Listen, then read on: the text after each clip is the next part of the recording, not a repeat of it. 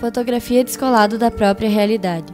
É uma captura do tempo, um congelamento, o mais próximo que podemos chegar da imortalidade. E sempre voltamos à imagem. Cada vez que ouvimos uma palavra, alguém nos conta algo. Nossa imaginação fotografa tudo, é a fotografia das palavras.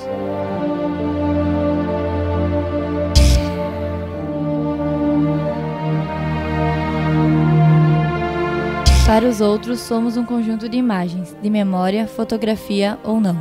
Pois quando morrermos, restarão as fotografias e a cena das pessoas que nos viram, que presenciaram nossa existência. Um corredor vazio é como aquele grito engasgado, de um estupro ou de uma morte violenta. É algo horrível, emparedado. As sombras carregam uma maldição eterna. Sombras serão sempre sombras, não são como, por exemplo, o plástico, que uma hora se adere ao ambiente.